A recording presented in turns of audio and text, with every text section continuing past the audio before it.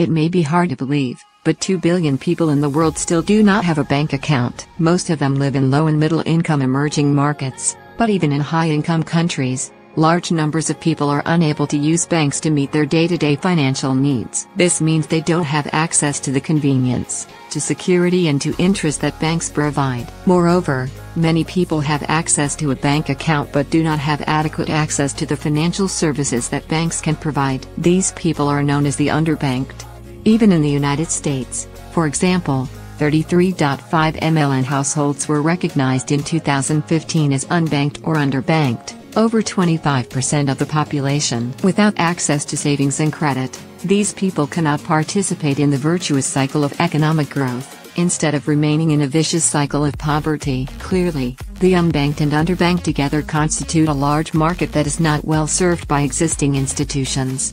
In the third world countries, large banks do not want to extend credit to the underbanked. Even when they do, they charge very high interest rates to offset the risk. For a time, microfinance institutions provided a way for the underbanked to access much needed credit, but in recent years, large banks have begun to participate in microfinance. In the process, the interest charged on microfinance loans has increased significantly and become a major pain point for the unbanked. Blockchain to the rescue. Blockchain technology has the potential to help the unbanked and underbanked by allowing them to create their own financial alternatives in an efficient, transparent and scalable manner. One of the biggest challenges banks face when trying to serve the unbanked is that many of them do not have clear identifying information, making it difficult to implement Know Your Customer practices. With blockchain, individuals can receive a digital identity for use in their banking. Property rights, long a pain point for many low-income individuals, can also be moved onto the blockchain,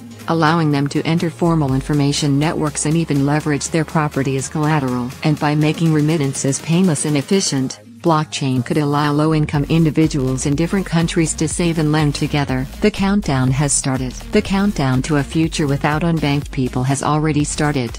As examples let's take a few Ethereum-based blockchain projects that have made serving the unbanked and underbanked their main focus. OmiseGO technology enables peer-to-peer -peer value exchange and payments using a digital wallet platform. They aim to encourage financial inclusion in emerging markets by creating a platform that other companies beyond Omise can use. Their network claims to decentralize market liquidity and high scalability payments and to help resolve payments across emerging e-wallet payment networks. This could become significant significant because if successful, it would enable the unbanked to have control over their financial lives and access financial services previously unavailable. WeTrust, their trusted lending circle product, now in beta version, would allow users to create rotating savings and credit associations on the blockchain.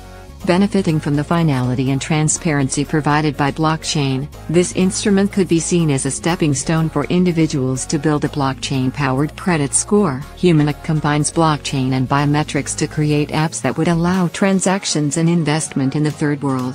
Users of the platform could earn tokens at home, using bio-identification procedures, and exchange those tokens for local currencies in an app. Basically, those without any formal identification could have an opportunity to create a digital bio-identification straight from their smartphones towards a more financially inclusive future. Even simple things like building savings or receiving a loan can be difficult for those who can't access the security and convenience of a bank account. These unbanked individuals constitute a large market ready to adopt disruptive financial solutions outside of the traditional banking system. Blockchain provides a secure, scalable way to serve the needs of these individuals, and a number of technology companies are leveraging it to usher in a world in which everyone has access to the savings and credit that is an essential building block for economic growth.